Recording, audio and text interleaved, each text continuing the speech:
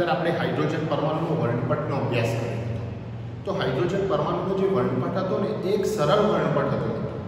પરંતુ જુદા જુદા તત્વો માટે, જુદો જુદો વર્ણપટ હોય છે. દરેક તત્વ માટે અદ્વિતીય વર્ણપટનું નિર્માણ થાય છે.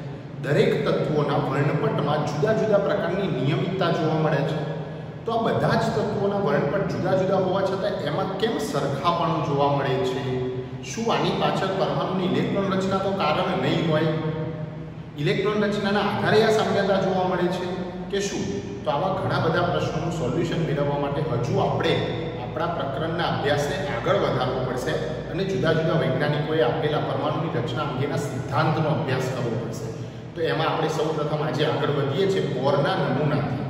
મિલ્સ બોર નામના વૈજ્ઞાનિક હતા જેમને હાઇડ્રોજન પરમાણુ માટે નમૂનો આપ્યો.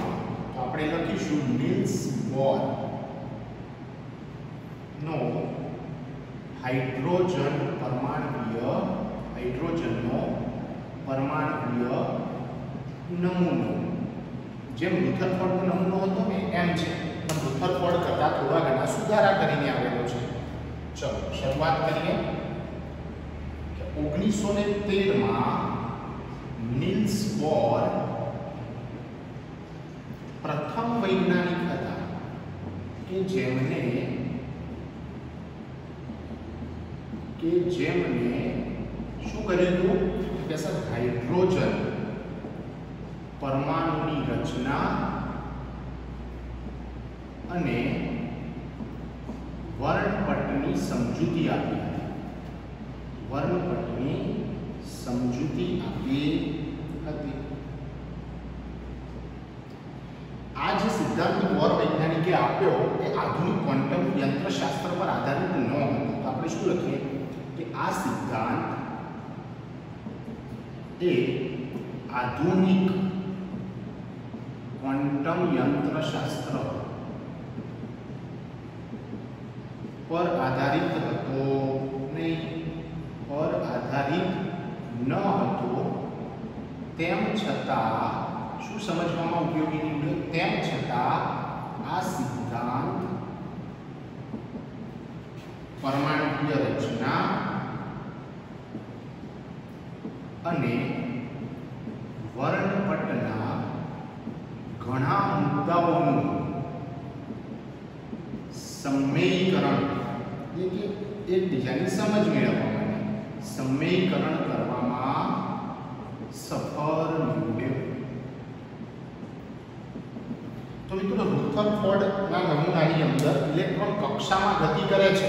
એવું તો આપણને સમજાયું હતું પણ એ વર્તુળાકાર માર્ગમાં ફિક્સ કક્ષામાં, નક્કી કક્ષામાં ગતિ કરે છે એવું સૌપ્રથમ કયા વૈજ્ઞાનિકે કીધું? નિલ્સ બોર નામના વૈજ્ઞાનિકે કીધું. અને ઘણા તત્વોના વર્ણપટ અને પરમાણુની રચના સમજવા માટે આ નમૂનો ખૂબ જ ઉપયોગી સાબિત થયો. હતો તો પોતાના નમૂનાની અંદર બોર વૈજ્ઞાનિકે કેટલીક અભિધારણાઓ આપી હતી. તો આપણે ટાઇટલ મારીશું. બોહરની અભિધારણાઓ. બોહર વૈજ્ઞાનિકની અભિધારણાઓ બહુ સરસ અને મજાનો ટોપિક છે. એક એક અભિધારણા આપણે શાંતિથી જોતા જઈશું. નીટ અને જે ડબલ્યુ લેવલે આમાંથી ઘણા બધા સવાલો તૈયાર થતા હોય છે. આની અંદર ઘણા બધા સમીકરણ, સૂત્રો ફોર્મ્યુલાસ પણ આવે છે. પણ આપણે આજે એનસીઆરટી લેવલે અભ્યાસ કરવાના છીએ. એ સૂત્રો અને સમીકરણો ક્યાંથી આવે એ આપણે ફ્યુચરમાં નીટ અને જે ડબલ્યુના લેક્ચરની અંદર આપણે સમજાવીશું. તો શરૂઆત કરીએ બોરની અભિધારણાઓથી. વિધારણા નંબર એક. બોરે હાઇડ્રોજન પરમાણુ ઇલેક્ટ્રોનની ગોઠવણી માટેનો સૌ પ્રથમ પ્રયત્ન કર્યો હતો.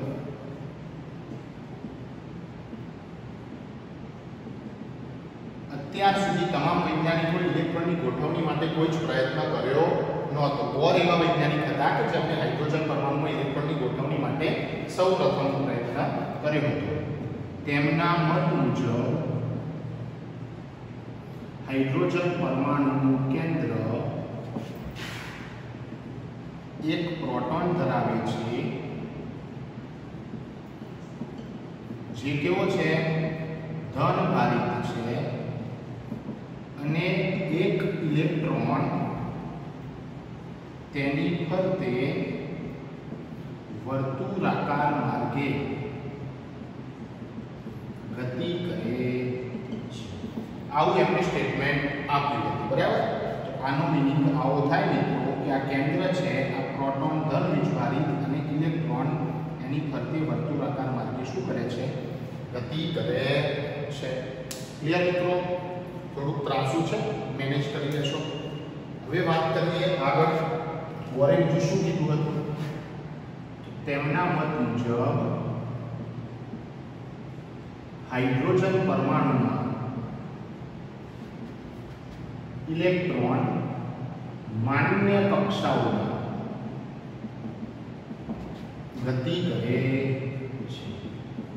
માન્ય કક્ષાઓ એટલે શું? તો આપણે એવું કહી શકીએ કે ચોક્કસ ત્રિજ્યા અને ચોક્કસ ઊર્જા ધરાવતી કક્ષાઓ. ધરાવતી કક્ષા એટલે સ્થિર અવસ્થા કહેવાય, માન્ય કક્ષા કહેવાય, માન્ય ઊર્જા સ્તર પણ કહેવાય અને સ્થિર ઊર્જા સ્તર પણ કહેવાય. ચાર શબ્દો સેમ છે. વરે એવું કીધું કે પરમાણુમાં કયા હાઇડ્રોજન પરમાણુમાં ઇલેક્ટ્રોન એવી કક્ષાઓમાં ગતિ કરે છે કે જે કેન્દ્રથી ચોક્કસ અંતરે, એટલે કે ચોક્કસ ત્રિજ્યાએ આવેલી હોય, બીજું કે ઇલેક્ટ્રોનની ઊર્જા ત્યાં ચોક્કસ હોય. આપણે જોજો રુથરફોર્ડના નમૂનામાં ઇલેક્ટ્રોનની ઊર્જા અને ઇલેક્ટ્રોનની ગોઠવણી, આ બેની મર્યાદાઓ હતી મિત્રો. તો બોર દ્વારા એ મર્યાદાઓ સોલ્વ થાય છે. સૌથી પહેલી મર્યાદા કઈ સોલ્વ થઈ? કે સ્થિર કક્ષામાં. કઈ કક્ષામાં એ રુથરફોર્ડમાં ફિક્સ હતું? નહીં, જ્યારે અહીંયા ફિક્સ છે કે કઈ કક્ષામાં ગતિ કરે છે. એમાં એમાં નંબર બે, એમને એવું કીધું કે જ્યારે ઇલેક્ટ્રોન સ્થિર કક્ષામાં ગતિ કરે છે, ત્યારે ઉર્જાનું શોષણ કે ઉત્સર્જન કરતો નથી. જ્યારે ઇલેક્ટ્રોન આ આ કક્ષા કહેવાય નથી કક્ષાની શાના વડે દર્શાવીશું આપણે એન વડે દર્શાવીશું. એન એટલે શું? મુખ્ય ક્વોન્ટમ આંક એ આપણે ફ્યુચરમાં જોવાના છીએ. ક્વોન્ટમ આંકનું આખું અલગ જ લેક્ચર છે. ખૂબ સરસ ટોપિક છે. એ પણ મજા આવશે. તો આ સ્થિર કક્ષા છે. આ એક જ કક્ષામાં ઇલેક્ટ્રોન ફરે છે. એથી આ ત્રિજ્યા છે એને આર કહેવાય. એ ક્યારેય બદલાશે નહીં. બીજું ક્યાંય ઇલેક્ટ્રોન ફરે છે એની ઊર્જા પણ બદલાશે નહીં. આ સ્થિર કક્ષા કહેવાય. તો જ્યારે ઇલેક્ટ્રોન સ્થિર કક્ષામાં ગતિ કરે છે, ત્યારે ઊર્જાનું શોષણ કે ઉત્સર્જન કરતો નથી. પરંતુ ધારો કે આની ફરતે હું બીજી કક્ષા દોરું છું. અને આ ઇલેક્ટ્રોન અહીંથી ક્યાં આવી જાય છે, આ જગ્યાએ આપણે શું કહી શકીએ? પરંતુ જ્યારે કોઈ ઇલેક્ટ્રોન નીચલી સ્થિર કક્ષામાંથી કક્ષામાંથી ઊંચી સ્થિર કક્ષામાં જાય, ઊંચી સ્થિર કક્ષામાં જાય, ત્યારે તે ઊર્જાનું શું કરશે? શોષણ કરે છે. તો તમે શું કહી શકો? આ n બરાબર 1 છે અને આ n બરાબર 2 છે. અહીંથી અહીં જવું હોય તો તમે આવું પણ કહી શકો. છો આપણે ભૂતકાળમાં જોઈ છે વસ્તુ. અહીં ઇલેક્ટ્રોન છે આમ જાય E1 જેટલી ઉર્જાનું શોષણ કરે, એટલે કે Hv1 જેટલી ઉર્જાનું શું કર્યું શોષણ કર્યું પછી ત્યાં એ કેવો રહે છે, ઉપર અસ્થાયી રહે છે, એટલે પાછું ક્યાં આવશે એની નીચલી ઊર્જા સ્તરમાં આવશે. ત્યારે શું કરશે? E2 જેટલી ઉર્જાનું ઉત્સર્જન કરશે.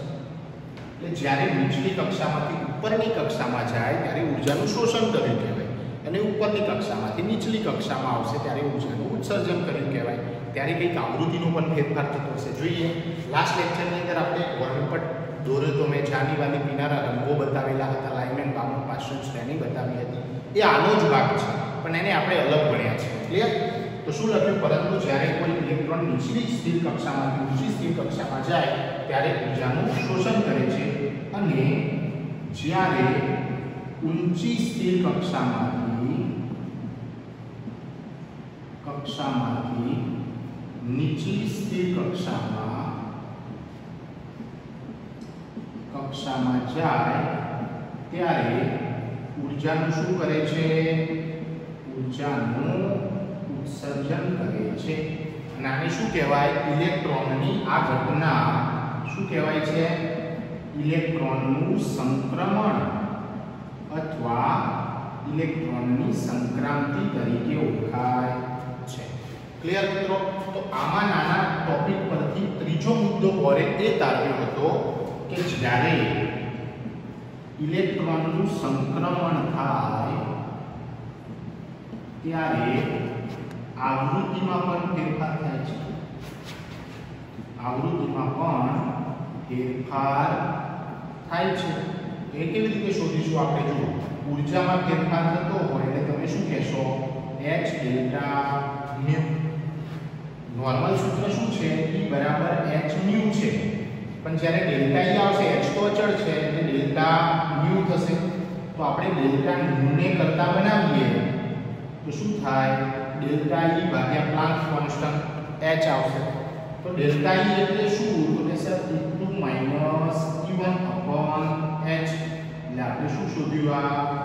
Delta new. ક્લિયર અને આ જ વસ્તુને શું કહેવામાં આવે છે? બોર્નનો આવૃત્તિ નિયમ બોર્નનો આવૃત્તિ નિયમ કહે છે. તો બોરની આપણે ત્રણ અભિધારણાનો અભ્યાસ કરી ચૂક્યા. જુઓ પહેલી અભિધારણા એ હતી બોરે હાઇડ્રોજન પરમાણુમાં ઇલેક્ટ્રોનની ગોઠવણી સૌ પ્રથમ પ્રયત્ન કર્યો. પ્રોટોન ધન વિજવારી છે, એની ફરતે ઇલેક્ટ્રોન ગતિ કરે છે. તેમના મત મુજબ હાઇડ્રોજન પરમાણુમાં ઇલેક્ટ્રોન એવી જ માન્ય કક્ષાઓમાં ગતિ કરે છે કે જ્યાં તેમની ઊર્જા અને ત્રિજ્યા ફિક્સ હોય, નક્કી હોય, અચળ હોય, બદલાય નહીં એવી હોય, ચોક્કસ હોય. કંઈ પણ કહી શકાય.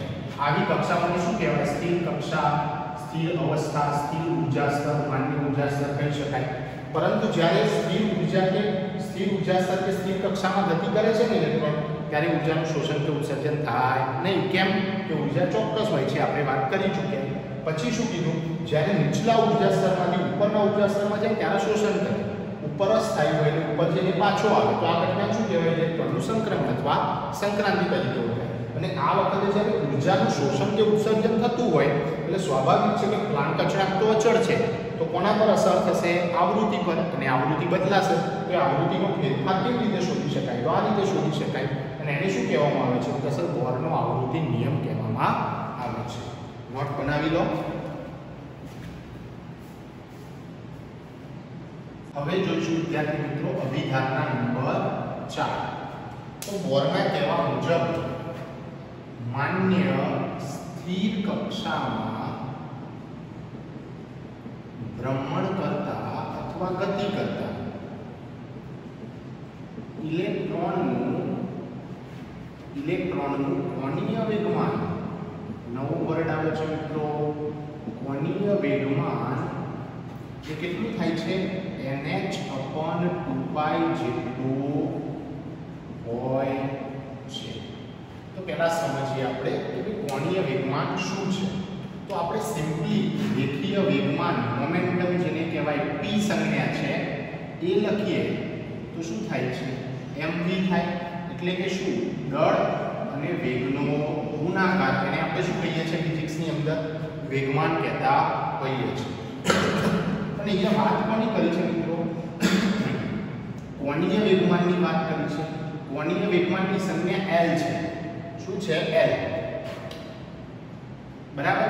તો એના માટે શું થાય? એના માટે સૂત્ર છે I ઓમેગા શું સૂત્ર છે? I ઓમેગા જ્યાં I બરાબર શું થાય? જડત્વની ચાક માત્રા. અને ઓમેગા બરાબર શું થાય? mr સ્ક્વેર અને બીજું શું કહેવાય? કોણીય વેગ. બરાબર છે? કોણીય વેગ. V r થશે. ક્લિયર? તો શું વાત કરી? જડત્વની ચાક માત્રા. એના બરાબર થાય છે mr સ્ક્વેર. અને ઓમેગા છે, આ ડબલની નથી. આના બરાબર શું થાય છે? v r જ્યાં પાછું v એટલે શું થાય? રેખીય વેગ. અને r એટલે શું થાય? રેડિયસ ત્રિજ્યા. અહીંયા પણ r એટલે શું થાય? ત્રિજ્યા થાય. અને m એટલે શું થાય? ઇલેક્ટ્રોનનું દળ થાય. હાલ આપણે શું કીધું છે? ઇલેક્ટ્રોનનું કોણીય વેગમાન ગણીએ છીએ. ક્લિયર? તો ચલો. આપણે આ કિંમત કોણીય વેગમાનના સૂત્રમાં મૂકતા. કોણીય વેગમાન L બરાબર I ની કિંમત I ઓમેગા. તો i કેટલા છે? mr સ્ક્વેર જડત્વની ચાક માત્રા. અને આ કેટલા છે? V upon r. તો શું થાય? જુઓ, એક આ ઉડી જાય, તો mvr લખી શકાય. આપણે શું લખ્યું? કોણીય વેગમાન બરાબર કયું સૂત્ર આવ્યું?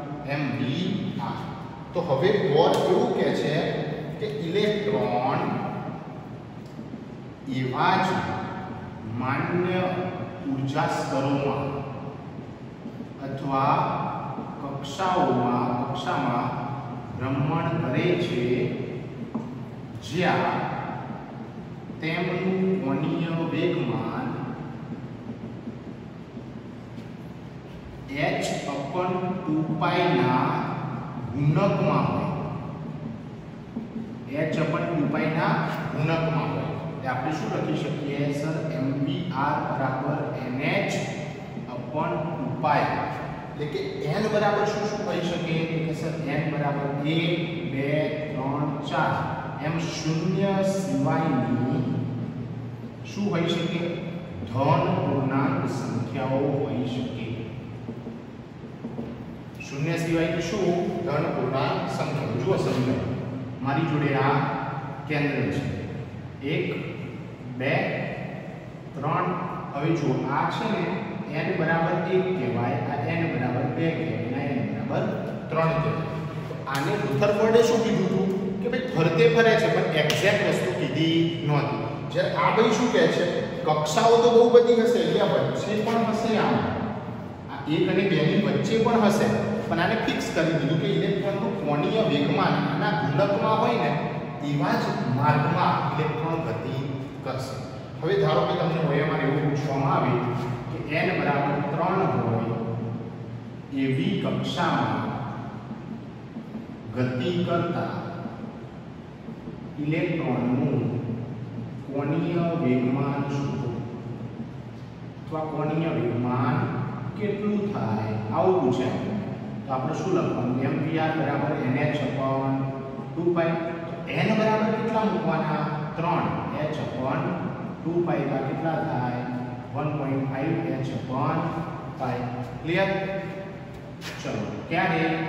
આર બરાબર 1.5 h upon પાઈ ક્યારે થાય? એન બરાબર ત્રણ હોય ત્યારે. ઇક્વેશન જ્યારે એન બરાબર બે હોય ત્યારે, તો nh upon 2 pi આર બરાબર. શું થઈ ગયું 2h upon 2 pi તો આન્સર કેટલો આવશે કોણીય વેગમાનનો n બરાબર 2 હોય ત્યારે h upon pi h શું છે ખબર હોવી જોઈએ પ્લાન્ક અચળાંક છે અને પાય પાઈ તો ખબર જ છે 22 સપ્તમાંશ અથવા 3.14 એની વેલ્યુ છે પાઈ તો તમે જાણતા જ હશો તો બોરે ચોથી અભિગમમાં શું વાત કરી મિત્રો તો કે એવી જ કક્ષામાં ગતિ કરે છે જેનું કોણીય વેગમાન એને upon 2 જેટલું છે એટલે કે h upon 2 એના ગુણાંકમાં હોય n બરાબર શું શું લઈ શકો તો શૂન્ય સિવાયની ધન સંખ્યાઓ લઈ શકાય ક્લિયર કોણીય વેગમાન કેવી રીતે લાવે આપણે ફરીથી એકવાર જોઈએ તો રેખીય વેગમાન એટલે m ગુણ્યા v થાય એમ કોણીય વેગમાન એટલે i ગુણ્યા ઓમેગા અને આપણે શું બોલીશું ઓમેગા એ ડબલ ડબલ્યુ નથી તો i એટલે શું તો કે સર જડત્વ ચાક માત્રા એનું સૂત્ર શું છે mr સ્ક્વેર ઓમેગા એટલે શું તો કે સર કોણીય વેગ તો રેખીય અને વેગ ભાગ્યા ત્રિજ્યા કેમ ઇલેક્ટ્રોન કેવી ગતિ કરે? જુઓ, આ ઇલેક્ટ્રોન છે ને, આમ ગતિ આ ઇલેક્ટ્રોન છે ને, આમ ગતિ આમ આમ એટલે કોણીય રીતે ગતિ કરે છે. માટે સા- રેખીય લઈ શકાય એ કોણીય વેગ લીધો. હવે કોણીય વેગમાન બરાબર આવી ઓમેગા બંનેની કિંમત મૂકી તો એમ્પિયર આપણને મળ્યું. આ સિવાય મિત્રો એમ્પિયર લાવવા માટે બીજી પણ રીત છે, જે જે ડબલ રીતના લેક્ચરની અંદર આપણે જોઈશું. અને આ રીતના આ વિધારણાઓમાંથી સવાલ પૂછી શકે છે પ્લીઝ નોટ બનાવી લો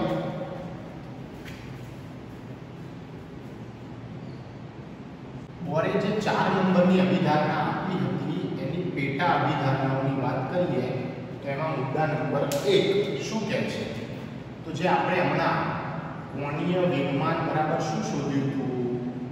કોણીય વેગમાન એમપીઆર બરાબર શું હતું? એનએચ વન ટુ પાય તો કે એન બરાબર શું છે? તો કે મુખ્ય ક્વોન્ટમ આંક અને એને શું કહી શકાય? કક્ષાનો નંબર પણ કહી શકાય. કક્ષા એટલે શું કે જે વર્તુળાકાર માર્ગે ઇલેક્ટ્રોન ગતિ કરે છે, એની વાત છે. ક્લિયર ઓકે તો n બરાબર શું શું લઈ શકાય? 1 2 3 એમ શૂન્ય સિવાયની ધન પૂર્ણાંક સંખ્યા. ઉદાહરણ અભિધારના એક હતી કયાની? મેઇન અભિધારના ચારનો પેટા વિભાગ. હવે એમાં બીજી અભિધારણાની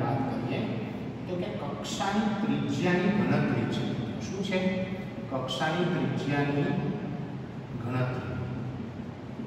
તો પર્ટિક્યુલર હાઇડ્રોજન પરમાણુ ડ્રો કરું, તો અંદર એક પ્રોટોન હશે અને એની ફરતે પહેલી જ કક્ષામાં એક ઇલેક્ટ્રોન ગતિ કરતો માલુમ હશે તો આપણને ત્રિજ્યા કેવી રીતે મળશે? તો આર એન બરાબર સૂત્ર કંઈક આવું છે N square a 0 upon z. સમજો જ્યાં એન બરાબર શું? તો કે મુખ્ય ક્વોન્ટમ આંક. અથવા હવે યાદ જ રાખી લેવાનું n બરાબર શું થાય કક્ષાનો નંબર. સારું. એ બરાબર શું છે?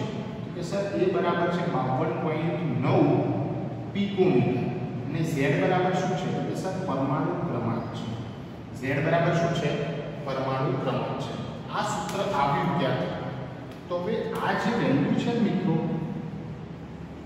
એ ઝીરોની વેલ્યુ આ એક અચળાંક છે. અને આ અચળાંક ઘણી બધી વસ્તુઓના મૂલ્યનું સાદુરૂપ આપવાથી આપણને પડેલું છે. એટલે ત્રિજ્યાનું સૂત્ર ખરેખર મોટું છે, આમ જોઈએ તો. પણ અહીંયા સીધું આપણને શોર્ટકટ રીતે રજૂ કરેલું છે. આપણે આગળના લેક્ચરોમાં નીટ જેડબલી લેવલે આ કેવી રીતે આવ્યું એનો અભ્યાસ કરીશું.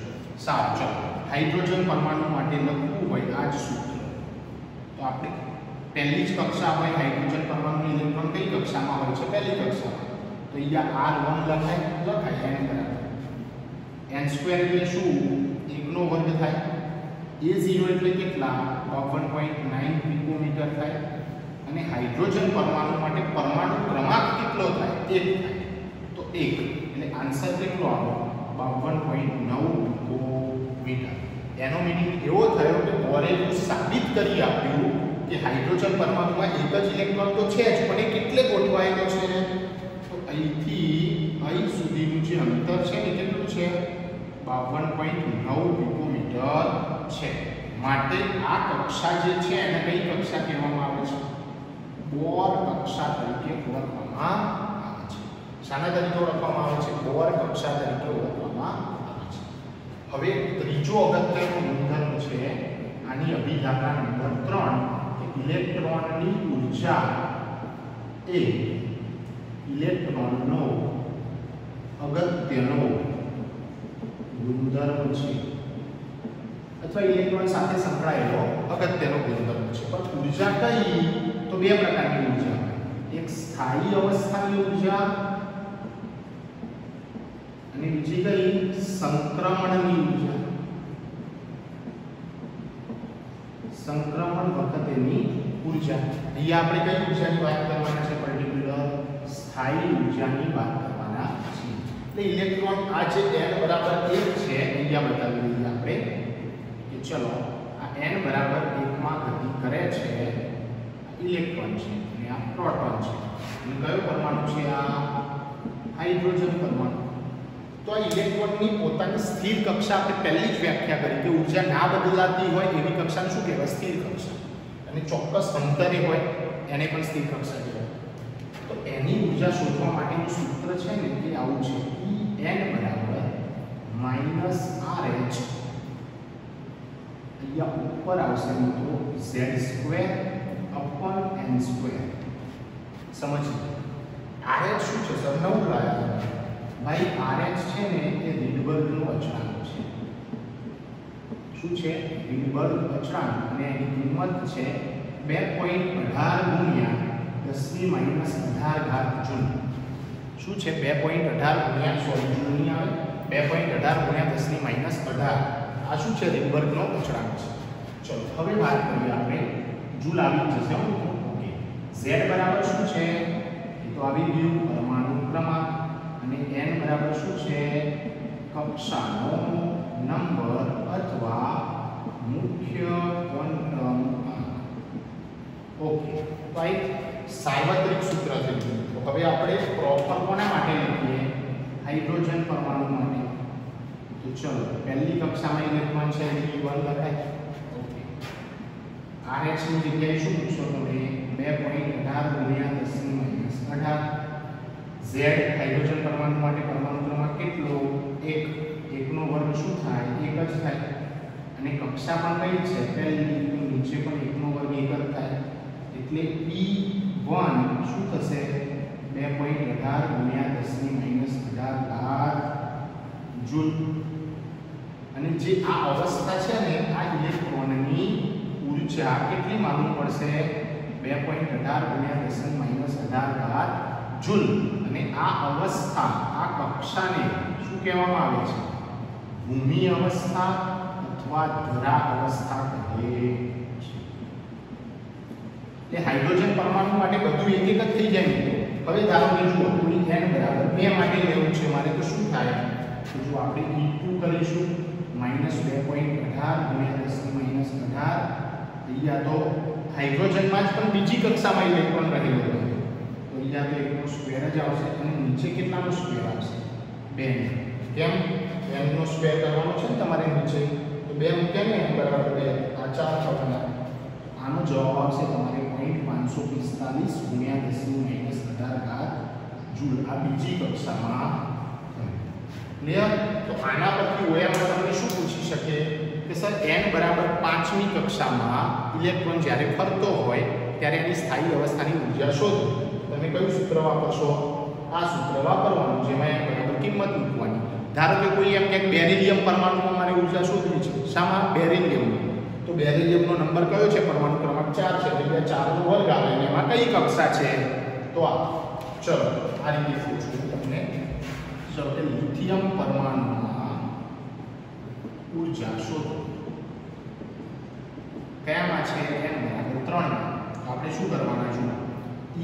E3 કોના માટે છે? લિથિયમ માટે તો જુઓ અહીંયા આપણું સૂત્ર શું હતું? માઇનસ આર એચ અને z2 n2 ક્લિયર શું કરવાનું છે? માઇનસ બે પોઈન્ટ અઢાર ગુણ્યા દસની માઇનસ અઢાર. લિથિયમ પરમાણુ માટે પરમાણુ ક્રમાંક કેટલો? ત્રણ. તો ત્રણનો વર્ગ અને આ કેટલા? ત્રણનો વર્ગ. તો ત્રણનો વર્ગ ત્રણનો વર્ગ ઉડી ગયા બે પોઈન્ટ અઢાર ગુણ્યા દસની માઇનસ અઢાર ઘાત થાય. આ રીતે કોઈ પણ પરમાણુ માટે તમે સ્થાયી અવસ્થામાં ઇલેક્ટ્રોન ફરતો હોય ને, ત્યારે તમે એની ઊર્જા શોધી શકો. બોરે આ બહુ સરસ કામ કર્યું હતું તો એક સ્થાયી અવસ્થાની ઊર્જા શોધી શકાય અને બીજું. આ જગ્યાએ તમારે લિથિયમમાં ઊર્જા શોધવી હોય તો તમે શોધી શકો કેવી રીતે? જુઓ, લિથિયમમાં ધારો કે એન બરાબર 1 માં છે અને શામાં વાત કરીએ છીએ આપણે લિથિયમમાં. તો અહીંયા શું કરવાનું? એકનો વર્ગ આવશે. એ કેટલા છે? 1.9 પિકોમીટર. અને ઝેડ કેટલા લિથિયમ એ 3 આનો જે ભાગાકાર આવશે એ લિથિયમમાં એ શું થવાની? ઊર્જા થશે. એકચ્યુઅલી લિથિયમ પરમાણુની નહીં, લિથિયમમાં રહેલા એન બરાબર એકમાં રહેલા ઇલેક્ટ્રોનની ઊર્જા. હવે શું થશે? જો આની અંદર પર્ટિક્યુલર વાત કરીએ, તો આ કેન્દ્ર છે, આ ઇલેક્ટ્રોન છે. અહીંથી આ ત્રિજ્યા થઈ, હવે ઇલેક્ટ્રોન દૂર જાય, અહીંથી ખસીને અહીંયો જાય, તો ત્રિજ્યા વધશે. ચલો, અહીંથી ખસીને અહીંયો જાય, તો પાછી ત્રિજ્યા વધશે. આમ ઇલેક્ટ્રોન કેન્દ્રથી દૂર જાય એટલે કે ત્રિજ્યામાં શું થાય છે? કોની? કક્ષાની ત્રિજ્યામાં વધારો થાય છે. કક્ષાની ત્રિજ્યામાં શું થયું? વધારો થાય છે. ક્લિયર અને બીજું શું કહી શકાય કે મુખ્ય કોણ? વધે છે. N નું મૂલ્ય છે. બીજા બરાબર. 1 હતું, બીજા ધારો કે n બરાબર. 7 હશે. તો ત્રિજ્યા ઇલેક્ટ્રોનનું કેન્દ્રથી અંતર અને મુખ્ય ક્વોન્ટમ બધું જોડે વધતું હોય છે. થોડું ભેગું ભેગું લખાઈ ગયું છે. તમે નોટ વ્યવસ્થિત બનાવશો. પુસ્તકનો સહારો લેજો. મિક્સ કરીને લખજો. ક્લિયર? તો આપણે વાત કરી ઇલેક્ટ્રોનની ઊર્જા અને ત્રિજ્યાની. સ્ક્રીનશોટ પાડી લો. ચલો મિત્રો, અત્યાર સુધી આપણે અભિધારણાઓમાં બોરના નમૂનામાં કયા કયા સૂત્રોનો અભ્યાસ કર્યો તો પહેલું સૂત્ર છે two minus one by H બીજા નંબરે કોણીય વેગમાન એમપીઆર બરાબર હતું nh અપોન 2 પાઈ ત્રિજ્યા બરાબર હતું N square a0 upon Z સ્થાયી અવસ્થાની ઊર્જા માટે હતું માઇનસ rh ઉપર આવશે ઝેડ સ્ક્વેર અને નીચે આવશે એન સ્ક્વેર આટલી વસ્તુઓનો આપણે અભ્યાસ કર્યો. પણ આ બધી જ સમજ પડી ગઈ સર પણ માઇનસ કેમ આવ્યું? માઇનસ કેમ? તો આપણે એનો જવાબ મેળવી દઈશું ધારો કે મારી જોડે આ કેન્દ્ર છે અને આ ઇલેક્ટ્રોન છે. કેન્દ્રની ફરતે જે વર્તુળાકાર માર્ગે ગતિ કરે છે, આ ઇલેક્ટ્રોન છે અને આ કેન્દ્ર છે, પ્રોટોન. ક્લિયર તો આ જે ઇલેક્ટ્રોન છે એ ધારો કે અહીંથી મુક્ત થઈ જાય છે, મુક્ત થઈ જાય છે. તો એચ જે હતો એમાંથી એચ પ્લસ બને છે અને ઇલેક્ટ્રોન મુક્ત થાય છે. તો આ ઇલેક્ટ્રોન છે, આ જગ્યાએથી ક્યાં જતો રહેશે? હવે દૂર થઈ જશે. અને ધારો કે અહીંયા આવી ગયો, એટલે આ અંતરને આપણે કહીશું અનંત અંતર. એટલે ક્યાં આવી ગયો, અનંત અંતરે આવી ગયો. એવું કહી શકાય? હા શકાય. હવે જ્યારે આ ઇલેક્ટ્રોન અનંત અંતરે જતો રહેશે, ત્યારે એના પર કેન્દ્રનું આકર્ષણ પણ લાગવાનું નથી. એટલે આપણે શું કહી શકીએ કે અહીંયા એની ઊર્જા ધારવામાં આવે છે. કેટલી છે? ધારવામાં આવે છે અથવા સ્વીકારવામાં આવે છે. અનંત અંતરે કેન્દ્રથી અનંત અંતરે આવેલા ઇલેક્ટ્રોનની ઊર્જા કેટલી ધારવામાં આવે છે? શૂન્ય. તો આ જગ્યાએ કક્ષા કઈ લઈશું આપણે? ઇન્ફિનિટી. આ n બરાબર 1 હતી મિત્રો. તો આ તો અનંત અંતરે છે તો n બરાબર શું થઈ જશે? ઇન્ફિનિટી થઈ જશે. ખ્યાલ આવે છે? ઓકે. હવે જ્યારે આ ઇલેક્ટ્રોન, ધ્યાનથી, આ ઇલેક્ટ્રોન પાછો અંદર આવવાનો પ્રયત્ન કરે છે, પાછો જ્યારે અંદર આવે છે, ત્યારે એ શું કરશે? ઉર્જાનું ઉત્સર્જન કરે છે. ઉર્જાનું શું કરે છે? પાછો અંદર આવશે એટલે ઉત્સર્જન કરે છે. એટલે કે પાછો એટલે લખી દઈએ. જુઓ. અનંત અંતરેથી પાછો કેન્દ્રની અસર હેઠળ કક્ષામાં આવે છે, ત્યારે તે ઉર્જાનું ઉત્સર્જન કરે છે. શું કરે છે? ઉર્જાનું ઉત્સર્જન કરે છે. તો ઉત્સર્જન કરશે એટલે ઉર્જામાં શું થાય? ઉર્જામાં ઘટાડો થશે. શું થશે? ઘટાડો.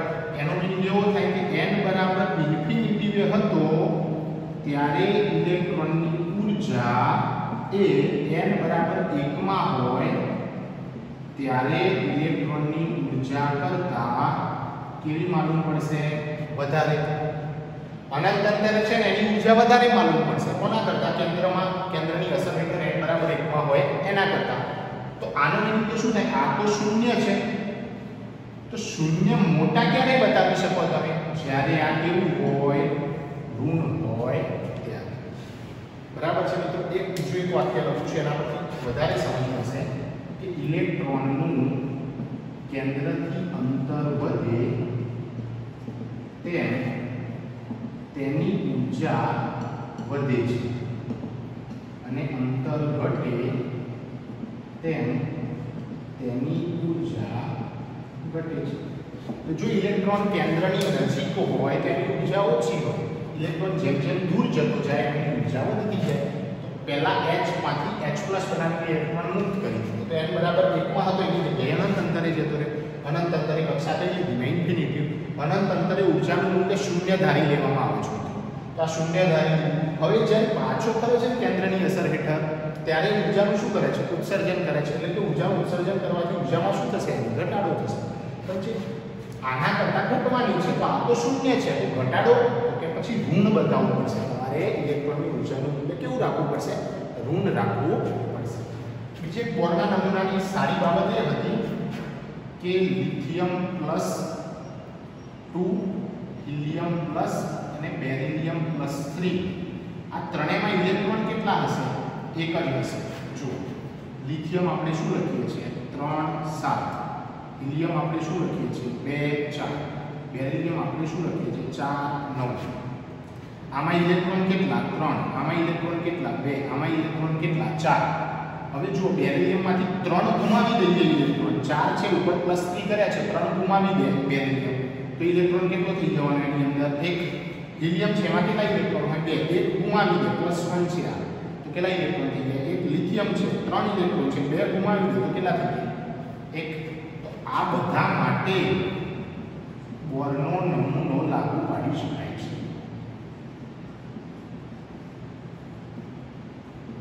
આ એક પ્લસ પોઈન્ટ છે.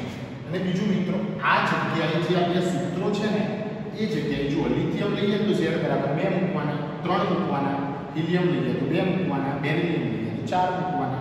એન તો જે કક્ષા હોય એ પ્રમાણે તમે બોરના નમૂનાની મદદથી બોરે ભલે હાઇડ્રોજન માટે નમૂનો આપ્યો પણ આ બધા માટે ઊર્જા અને ઇલેક્ટ્રોનની ત્રિજ્યા, મતલબ ઇલેક્ટ્રોન જે કક્ષામાં ગતિ કરે છે એની ત્રિજ્યા આપણે શોધી શકીએ છીએ બોરના નમૂનાની મદદથી.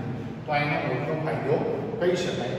અને લાસ્ટ એન્ડ ફાઇનલ વાત, કે ઇલેક્ટ્રોનનો જે વેગ છે એ કેન્દ્રથી અંતર વધતા ઘટે છે, આ બે વાક્યો ખાસ યાદ રાખજો.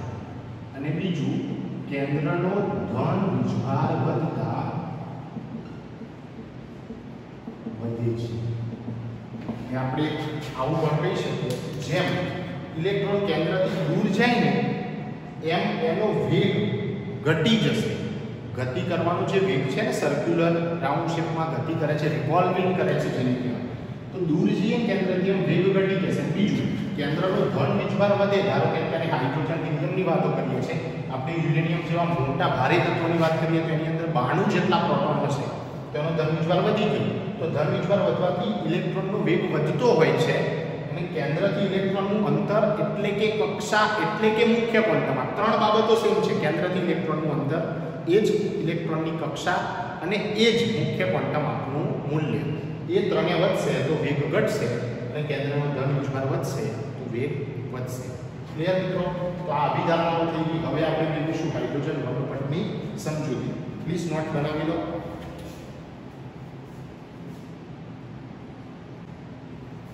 હવે મિત્રો આપણે બોરના નમૂનાની મદદથી હાઇડ્રોજન રેખા વર્ણપટની સમજૂતી મેળવીશું. ટાઇટલ મારીએ. હાઇડ્રોજન રેખા વર્ણપટની સમજૂતી. હવે થોડાક બોર પણ થયા હશો તમે કેમ કે તો એક ટોપિક અને ટિપિકલ વસ્તુ છે, સમજવી થોડીક મુશ્કેલ તો છે જ. પણ હવે પૂરું તો કરવું જ પડશે. તો આ એન આઈ છે અને આ એન એફ છે. સર, કેટલી બધી વાત તમે તો આ લીધું? પણ અંદર આવે છે મિત્રો, હું જાતે નથી આ છે ઇનિશિયલ કહેવાય છે ને એટલે કે શરૂઆતની અવસ્થા. અને આને કહેવાય ફાઇનલ એટલે કે અંતિમ અવસ્થા હાઇડ્રોજન વર્ણપટ કેવી રીતે બને? તો નીચી ઊર્જા સ્તરમાંથી ઊંચી ઊર્જા સ્તરમાં શોષણ કર્યું ઇલેક્ટ્રોનિક ઉર્જાનું ઉપરથી નીચે આવે તો ઉત્સર્જન કર્યું તે જ વસ્તુ અહીંયા સમજવી છે આપણે. તો ચલો અહીંયા શું કહેવાય આપણે? શોષણ અને અહીંયા ઉત્સર્જન.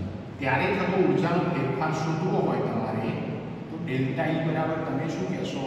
ઈએફ માઇનસ ઈ આઈ કહી શકાય. ઓકે આમ આમ જાય ઉપર નીચે જાય છે ઇલેક્ટ્રોન તો સંક્રાંતિ કહેવાય. પણ ધારો કે અહીંયાની અહીંયા ઇલેક્ટ્રોન સ્થાયી છે ત્યારે એની ઊર્જા જુદી હશે? અહીંયા સ્થાયી છે ત્યારે એની ઊર્જા જુદી હશે. તો સ્થાયી અવસ્થાની ઊર્જા માટે આપણે કયું સૂત્ર વાપર્યું હમણાં જ ભણ્યા સ્થાયી અવસ્થાની ઊર્જા E n બરાબર. તમે કયું સૂત્રનો ઉપયોગ કરે તો માઇનસ રિવર્ગનો અચળાંક વન અપોન એન સ્ક્વેર. પણ આ જ સૂત્રને તમે આ રીતે લખી શકો. આ તો એક જ છે. આર upon n સ્ક્વેર લખી શકાય લખી શકાય. તો આ સૂત્ર પરથી જુઓ. એફ બરાબર શું થાય? Minus R H nf square થશે. અને EI બરાબર શું થાય? Minus R H ni square થાય. તો હવે આ બંને કિંમતો ક્યાં મૂકીશું આપણે? આ સૂત્રમાં જોશું ડેલ્ટા ઈ બરાબર ઈએફ માઇનસ ઈઆઈ ઈએફ બરાબર શું છે ધ્યાનથી minus R H upon N F square પાછા માઇનસ અને પાછા માઇનસ અંદર આવશે કોના R H upon N I square હવે આર એચ ને કોમન કાઢી લો, અને માઇનસ પણ કોમન કાઢી લો. તો એન આઈ પ્લસ થઈ જશે. તો એન આઈ આગળ આવશે. તો શું થાય? One upon N I square minus one upon N F square. આપવાનું સૂત્ર મળી ગયું મિત્રો, જ્યારે ઇલેક્ટ્રોનનું એક કક્ષામાંથી બીજી કક્ષામાં સંક્રમણ થતું હોય, ત્યારે ઇલેક્ટ્રોનની ઉર્જામાં શું ફેરફાર થયો છે? એ શોધવા માટેનું સૂત્ર મને પ્રાપ્ત થયું. ક્લિયર હવે શું કહે છે? જો આવૃત્તિનો ફેરફાર ગણવો હોય, શું ગણવું હોય? આવૃત્તિનો ફેરફાર ગણવો હોય. ક્યારે? આવું સંક્રમણ થયું ત્યારે ઊર્જાનો તો ફેરફાર થયો જ છે. પણ સાથે સાથે આવૃત્તિનો પણ ફેરફાર થયો છે. તો એના માટે તમે શું કરી શકો છો? ડેલ્ટા, સોરી, ડેલ્ટા ઈ બરાબર એચ ડેલ્ટા ન્યુ થાય. એચ અચળ છે. હમણાં કીધું ડેલ્ટા ડેલ્ટા ન્યુ કરતા બનાવે. તો શું થાય? ડેલ્ટા ઈ બાય એચ થાય. થાય છે. ઓકે, ચલો. ડેલ્ટા ઈની કિંમત શું છે? આખી ડેલ્ટા ઈની કિંમત છે. તો જો RH 1 upon ni square minus 1 upon NF square અને નીચે શું આવશે? એચ સમજો બરાબર છે? ચલો એચ એટલે શું? લિબર કોન્સ્ટન્ટ સર કેટલો થાય? માઇનસ અઢાર ઘાત. અને નીચે એચ એટલે કેટલા? 6.626 ગુણ્યા 10 ની માઇનસ 34 અંદર શું આવશે? એનઆઈ સ્ક્વેર nf સ્ક્વેર તો કોમન જ રહેશે. આ બેનો ભાગાકાર કરતા 3.29 ગુણ્યા 10 ની 15 ઘાત 1 upon ni square minus 1 upon nf square પ્રાપ્ત થાય છે. અને આને આ જે સમીકરણ આવ્યું ને, એને શું કહેવાય છે? રિટ્સનું આવૃત્તિ માટેનું સમીકરણ. રિટ્સનું આવૃત્તિ માટેનું સમીકરણ. ક્લિયર રિટ્સનું કોના માટેનું સમીકરણ આવી ગયું મિત્રો. આવૃત્તિ માટેનું સમીકરણ આવી ગયું. નોટ બનાવી દો. આપણે હજુ આગળ અભ્યાસ કરવો છે.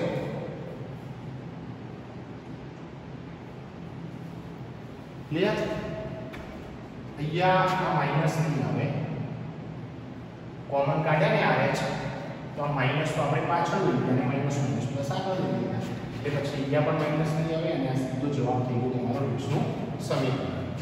હવે મિત્રો, આના પરથી તરંગ સંખ્યા શોધવી હોય તો કેવી રીતે શોધી શકાય? ધ્યાન અને આને આવૃત્તિ પણ કહેવાય. બરાબર? તો આપણી જોડે શું સૂત્ર આવ્યું છે? ન્યુ બરાબર ત્રણ પોઈન્ટ ઓગણત્રીસ શૂન્ય દસની પંદર ઘાત one upon NI square minus one upon NF square. Done? આ સૂત્ર આવી છે. હવે તરંગ સંખ્યા એટલે શું? તો કે સર, વન અપોન લેમડા. એને શું કહેવાય? તરંગ સંખ્યા. તો લેમડા બરાબર શું છે? તો આપણે આપણે એક સૂત્ર બને છે ન્યુ બરાબર સી અપન લેમડા. ભણ્યા છો કે નહીં? ચલો, અહીંયા લખીએ કે ન્યુ બરાબર સી અપન લેમડા. તો લેમડા બરાબર શું થાય? સી બાય ન્યુ લેમડા બરાબર શું થાય? સી બાય ન્યુ થાય કે નહીં? બહુ જ ડિફિકલ્ટ છે. જો ન્યુ બાર, એટલે શું કહેવાય? તરંગ સંખ્યા. એ લેમડાનો વ્યસ્ત હોય તરંગ લંબાઈના વ્યસ્તને આપણે તરંગ સંખ્યા. ઓકે ન્યુ બરાબર શું થાય? એકલા ન્યુ છે. તો સી બાય લેમડા થાય. તો લેમડાનું શું હોય? તો લેમડા બરાબર શું થાય? સી બાય ન્યુ થાય. પણ વન અપન લેમડા બરાબર શું થાય? બદલી નાખો તો આને. તો ઉપર કોણ આવી જશે? ન્યુ. અને નીચે કોણ આવી જશે? સી તો ચલો, વન અપન લેમડા આ શોધવું છે મારે? બાર બરાબર વન અપન લેમડા. એટલે વન અપન જગ્યાએ શું મૂકવું? ન્યુ અપોન સી એમાં ન્યૂની કિંમત છે તમારી. જોડે કેટલી છે? ત્રણ પોઈન્ટ ઓગણત્રીસ ગુણ્યા દસની પંદર ઘાત one upon NI square minus one upon NF square C એટલે પ્રકાશનો વેગ. કેટલો થાય? ત્રણ ગુણ્યા દસની આઠ ઘાત. ત્રણ ગુણ્યા દસની આઠ ઘાત. અહીંયા જવાબ શું આવે? ગુણ્યા દસની પ્લસ સાત ઘાત. One upon NI square minus one upon NF square અને અહીંયા શું આવ્યું? Nu bar. અને આનો એકમ જે આવવાનો છે એ મીટર ઇન્વર્સ આવવાનો છે. કયો આવવાનો છે? મીટર ઇન્વર્સ તો જુઓ, આ દસ ને પંદરમાંથી આઠ જાય તો સાત અને આ બેનો ભાગાકાર આવો આવશે. હવે યાદ કરો, આપણે લાસ્ટ લેક્ચર જે સતત વર્ણપટ ભણ્યા હતા. એમાં મેં આ સમીકરણ તમને કીધું કે આપણે તારવીશું. તો ત્યાં સમીકરણ શું હતું મિત્રો? Nu bar. એકસો નવ, છસો સિત્તોતેર સીધું જ હતું. One upon NI square minus one upon NF square હતું. પણ પાછળ છે સેન્ટીમીટર ઇન્વર્સ એટલે જુઓ, પહેલાં તો આમાં ફેરવું લાગ્યા કમ્પ્લીટ તો એક, બે, ત્રણ, ચાર અને પાંચ. તો આમાં પાંચ ઘાત જતી રહે તો કેટલી બચશે? હવે દસની બે બચશે. આ એક પોઈન્ટ જીરો છન્નું સિત્તોતેર છે મિત્રો. અને દસની સાત ઘાત છે. અને હું કરું છું એકસો નવ છસો સિત્તોતેર પોઈન્ટ કાઢી નાખો છો મારા અંદરથી. તો આવું થાય તો પાંચ ઘાત તો અંદરથી જતી રહે. તો બે પછી આ મીટર છે આ સેન્ટીમીટર છે. તો એક મીટર બરાબર સો સેન્ટીમીટર એની બે પણ જતી રહે. તો આ બે સમીકરણો સેમ જ છે એવું કહી શકાય. વાત સમજાય છે મારી? શું કરીશું? સૌથી પહેલા આ ડાયરેક્ટ આપણે થોડુંક સાફ કરેલું છે. ફેરફાર માટે સૂત્ર તો ઉર્જાનો ફેરફાર શોધવાનું કે હવે શું કહે જ્યારે પણ તમને કે n બરાબર 2 માંથી n બરાબર 4 માં જાય છે, ત્યારે ઉર્જાનો ફેરફાર ગણો. તો અહીંયા બે મૂકવાના અને બે ચાર મૂકવાના અહીંયા બે પોઈન્ટ અઢાર કિંમત મૂકવાની. જવાબ પછી કે n બરાબર 2 માંથી 4 માં જાય છે, ત્યારે આવૃત્તિનો ફેરફાર ગણો. તો અહીંયા બે નો વર્ગ અને ચાર નો વર્ગ. ને આ સમીકરણ મૂકો. જવાબ બે માંથી ચારમાં જાય છે, ત્યારે તરંગ સંખ્યા ગણો. તો આ સમીકરણમાં બે અને ચાર ક્લિયર આઈ થિંક ખ્યાલ આવી ગયો હશે, થોડુંક ટફ છે. વ્યવસ્થિત અભ્યાસ કરશો તો આઈડિયા આવી જશે. નોટ બનાવી લો.